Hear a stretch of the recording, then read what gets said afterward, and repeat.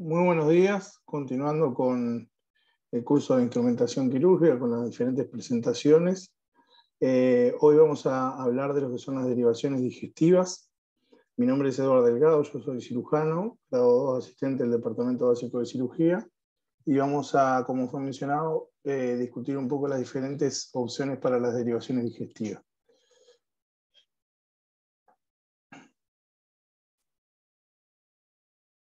Comenzando entonces con la definición, eh, una derivación digestiva es la creación de una derivación es un procedimiento quirúrgico que confecciona un sector del tubo digestivo que se encuentra parcialmente excluido en general con diferentes objetivos. El principal objetivo que persigue en general una derivación es restituir el tránsito digestivo y, como varias opciones las iremos mostrando a continuación.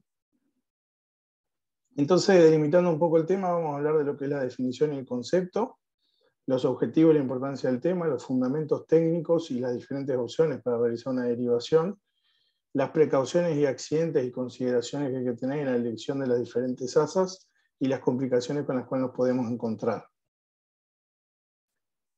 Referente al objetivo de importancia, el procedimiento está destinado, como dijimos, a reconstruir o restituir el tránsito digestivo y o digestivo, por eso las derivaciones también las pueden encontrar como dentro del capítulo de derivaciones biliodigestivas. ¿En qué se usan o cuándo están más indicadas? En general en patología traumática, infecciosa, inflamatoria, oncológica en cirugía es sumamente importante, sobre todo porque la oncológica implica lo que son resecciones de diferentes sectores del tubo digestivo con la consecuente derivación que, que se debe realizar. Hay causas isquémicas, oclusivas y otras menos frecuentes. Referente entonces a las aplicaciones frecuentes, como dijimos, se utilizan para las anastomosis biliodigestivas, para reconstruir el tránsito digestivo en diferentes tipos o técnicas quirúrgicas, por ejemplo, en patología esofágica, donde se realiza una resección esofágica y luego nosotros tenemos que realizar una derivación. Y vamos a ir viendo las diferentes opciones que tenemos para poder realizar. También en patología gástrica, común, muy común, sobre todo, sobre todo patología benigna o maligna, que incluya resecciones gástricas. Luego tenemos que realizar derivaciones digestivas, al igual que páncreas en general por patología maligna, y algunas otras derivaciones las realizamos en patología colónica. Fundamento entonces, cuando nosotros tenemos que realizar una derivación, lo próximo que nos tenemos que plantear es qué sector del tubo digestivo vamos a elegir o seleccionar para poder realizar la derivación digestiva con el objetivo principal de restituir el tránsito digestivo como fue mencionado anteriormente. Entonces, ¿qué sector vamos a elegir? Y bueno, la elección del sector del tubo digestivo para realizar las diferentes derivaciones debe implicar un conocimiento anatómico de cuál es el sector eh, mejor o más adecuado para poder realizar una derivación. Hay fundamentos que también son fisiológicos, fundamentos fisiopatológicos y fundamentos microbiológicos, consideraciones microbiológicas que debemos tener presentes. Desde el punto de vista anatómico, el sector del tubo digestivo más frecuentemente utilizado para el montaje de diferentes derivaciones digestivas lo constituye el yeyuno. ¿Por qué? Porque es un sector del tubo digestivo que tiene facilidad para el manejo, porque podemos obtener grandes longitudes, porque este órgano tiene un meso largo, entonces nos permite llegar a sectores del tubo digestivo para poder realizar las derivaciones de forma satisfactoria en cuanto a longitud y atención, porque tiene una buena vascularización, tiene una rica vascularización, su, tiene elementos de la constitución parietal que lo hacen favorable para realizar anastomosis, tiene, se puede obtener o se logra un buen manejo de lo que son los películos vasculares, la vascularización de este sector está dado sobre todo por la mesentérica superior, y las zonas críticas de irrigación de este sector de tubos digestivos es la primera asa yeyunal y la última asa ilial. Por todas estas consideraciones, que ya ven que son anatómicas, del grosor de su pared, de la vascularización, de la posibilidad de, de longitud que nos ofrece el órgano, es un sector que utilizamos con frecuencia para realizar diferentes derivaciones digestivas. Desde el punto de vista fisiológico, es un órgano que posee una gran capacidad de absorción y adaptación al nuevo medio o al nuevo sector donde realicemos la anastomosis, hecho que es importante porque dijimos que muchas veces utilizamos este sector de yeyuno para realizar derivaciones y restituciones del tránsito, donde no pierde el órgano o el órgano en el cual utilizamos para la derivación sigue teniendo una buena capacidad absortiva. Se adapta, como dijimos bien, a diferentes medios, aunque no sea el medio donde él se encontraba anteriormente, y se debe mantener la continuidad anatómica y el sentido de la peristalsis. Eso es importante, intentar realizar derivaciones que sean isoperistálticas para continuar con el sentido normal del, del, alimenticio. Respecto de consideraciones fisiopatológicas, la vascularización se debe elegir un segmento intestinal que esté bien vascularizado. Esto va a garantizar o va a ayudar a una correcta cicatrización. La sutura no debe, ser, no debe quedar eh, isquémica, debe ser hermética, debe ser resistente y no debe generarse estenosis en la zona de la derivación, porque puede traer problemas en el posoperatorio inmediato. Desde el punto de vista microbiológico, cuando realizamos derivaciones y, utilizamos el yeyuno o algún otro órgano del tubo digestivo, eh, no debemos de perder en cuenta, tenemos que tener en consideración que tiene una gran cantidad de bacterias este sector del tubo digestivo que pueden desencadenar procesos infecciosos. Por eso se deben extremar las medidas de asepsia, evitar la contaminación peritoneal. Para esto el cirujano puede pedirle que, que tengan en la mesa clamps, disponible para realizar el clampeo y posteriormente las secciones de diferentes sectores del tubo digestivo. Se debe bloquear con compresa el sector seleccionado antes de realizar las secciones.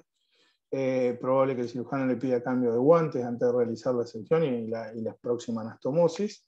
El material, por ende, debe estar eh, preestablecido o conversado con, con, la licenciada en instrumentación para ver cuáles son las diferentes opciones que el cirujano piensa realizar y que instrumental desde el punto de vista eh, incluso hasta de máquinas y de anastomosis y de distintos tipos de sutura, deben estar aclaradas antes de realizar el procedimiento para disminuir eh, el tiempo luego de, solicitud de diferente instrumental eh, el cual no se prevía anteriormente. se debe extremar las medidas para, como dijimos, evitar la contaminación peritoneal, evitar la contaminación de la sutura, muy importante, y se deben hacer las consideraciones de la profilaxis antibiótica. Desde el punto de vista de la elección, dijimos que hay varias, eh, hay varias eh, derivaciones digestivas que se pueden tener que realizar por diferentes resecciones, ya sea por patología benigna o mucho más frecuente por patología oncológica, hecha la resección del esófago, del estómago, del, de, otro sector del tubo digestivo, incluso del colon, dijimos que teníamos que seleccionar el asa o el sector del intestino para realizar la derivación por diferentes opciones que ya fueron mencionadas. Dijimos que el sector eh, más adecuado puede ser el yeyuno. Y ahora tenemos que pensar o eh, discutir un poco cuál es la mejor opción técnica para realizar la derivación digestiva. Y para eso tenemos que hacer un montaje de esa asa yeyunal ver la forma en que nosotros la vamos a adaptar al nuevo sector del tubo digestivo donde queremos hacer la derivación. Para esto existen diferentes formas de, realizar el montaje, que puede ser del asa yeyunal en ida rux o puede ser en asa en omega, como se ven en las imágenes. Si nosotros ah, vamos a, desarrollar lo que es el asa en ida rux y lo que es el asa en omega, eh, el, asa en omega puede ser sin exclusión del asa aferente, que sería un asa de Brown, y con exclusión de la rama aferente. Hay varios tipos, la más frecuente es el asa de Warren, que, tiene sus modificaciones, las vamos a ir mencionando y discutiendo, y vamos a ir comenzando por lo que es el montaje del asa en IDRUX, para realizar una derivación digestiva o bilio-digestiva. El ASA en IRU es el modelo más antiguo, descrito en 1896 por RUC. Está dentro de los modelos más usados actualmente.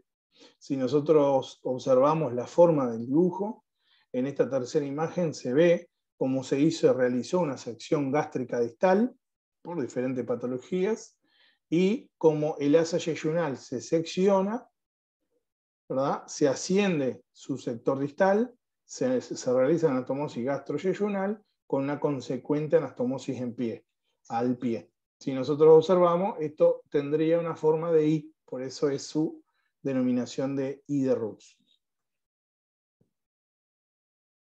¿Cómo se confecciona entonces? Se secciona el yeyuno a los 20-25 centímetros del ángulo duodeno yeyunal, se realiza la ligadura vascular correspondiente, se secciona el mesenterio, eh, se debe asegurar una buena vascularización, eso se debe objetivar en el intraoperatorio, que el asa yeyunal a ascender tenga una buena vascularización, porque si genera, se generan sectores de isquemia, eso puede predisponer a la falla de la sutura posterior, y se asciende una asa diverticular aproximadamente unos centímetros, 60 centímetros de longitud para prevenir sobre todo lo que es el reflujo, y, aproximadamente a los 60 centímetros se va a realizar la anastomosis al pie. Sector proximal de la asa desfuncionalizada, sea la anastomosa, en donde el cirujano lo necesite, donde necesita hacer la derivación eh, digestiva o biliodigestiva. Entonces, si, la, si el asa que asciende la llevamos a la vía biliar y, por ejemplo, hacemos una hepático yeyuno, por ejemplo, ahí va a ser una derivación biliodigestiva. Si la llevamos al estómago, va a ser una gastroyeyuno, por ejemplo, si la llevamos al esófago, un esófago yeyuno.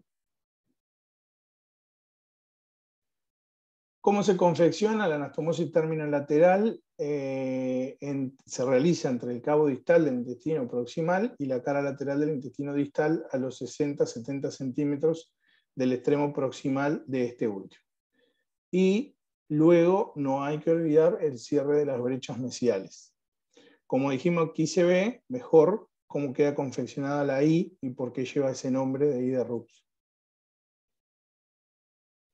Para recordar y hacerlo un poco más esquemático, en la segunda imagen se ve el ángulo duodeno yeyunal, dijimos a los 20-25 centímetros en general se, realiza la sección, donde está marcada la cruz.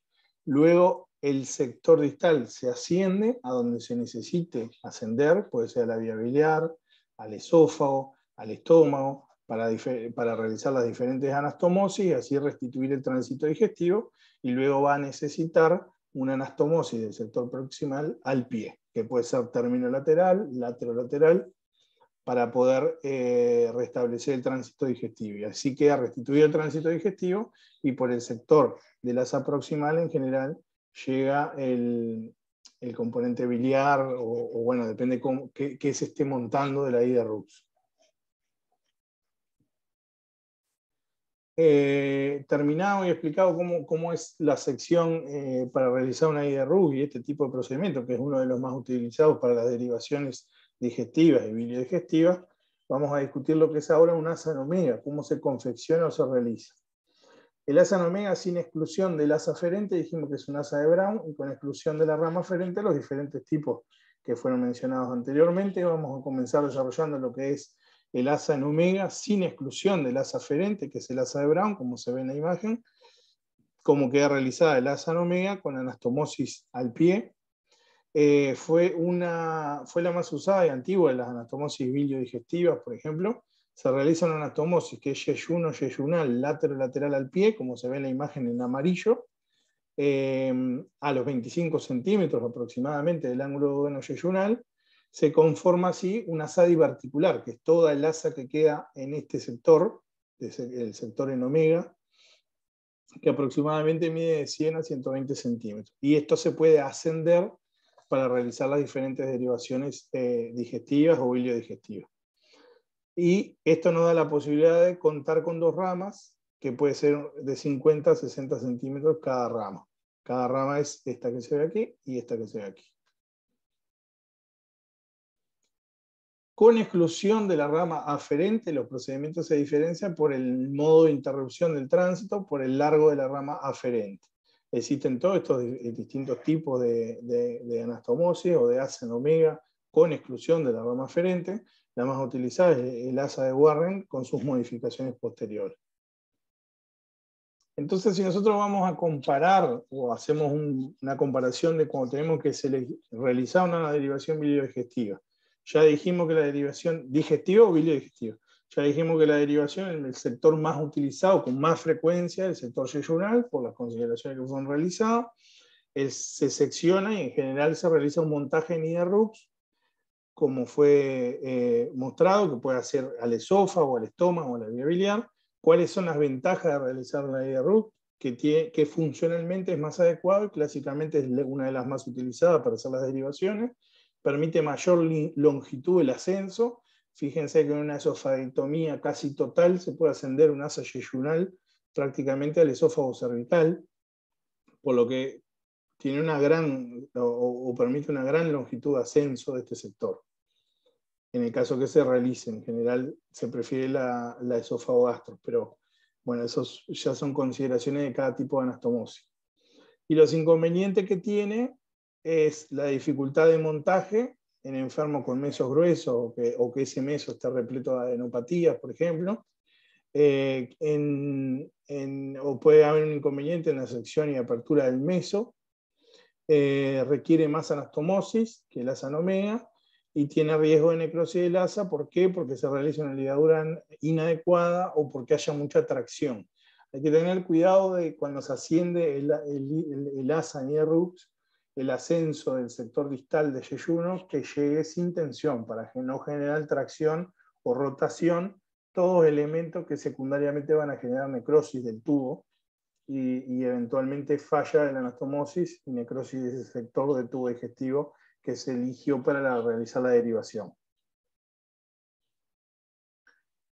Eh, referente del ASA en omega, las ventajas que es de más fácil realización, como fue mostrado en el esquema, se realiza la anastomosis al pie y ya queda el sector de ASA en omega para realizar la derivación digestiva o digestiva.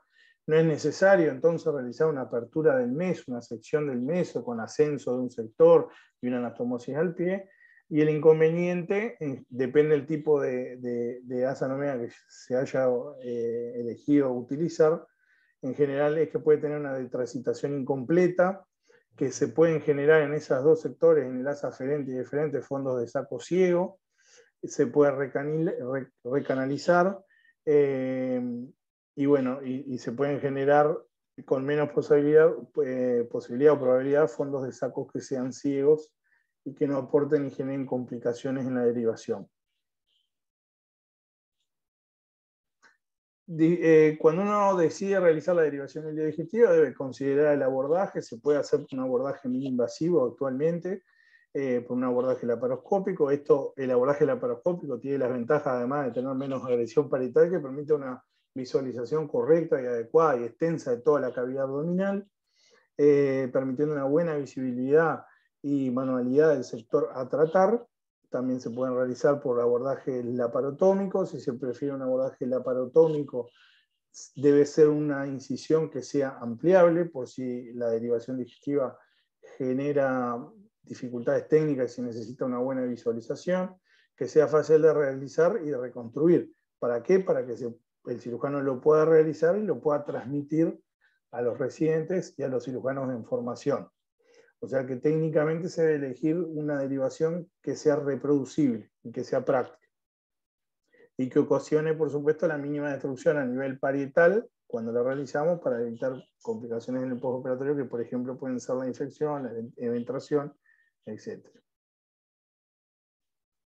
Referente a la exploración, entonces, la exploración tiene que ser visual y palpatoria, ubicar el ángulo duodeno yeyunal es fundamental porque desde ahí dijimos que 20-25 centímetros es lo que se, habitualmente se considera para realizar la, la sección. Eh, se debe elegir el asa, prestando especial atención a la vascularización de este sector y a conservar la vascularización del asa eh, distal que se va a ascender para realizar la derivación.